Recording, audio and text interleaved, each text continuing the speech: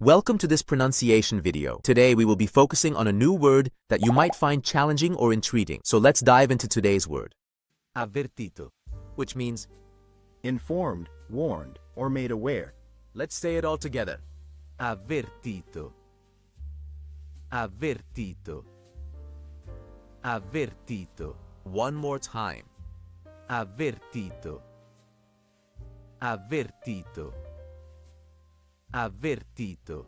Thank you for joining us on this adventure in pronunciation. Remember, language is a journey, not a destination. Keep exploring, experimenting, and expanding your linguistic horizons. We'll see you next time.